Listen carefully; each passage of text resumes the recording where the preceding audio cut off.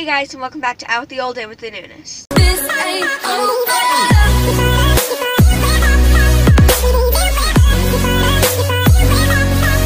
You know that.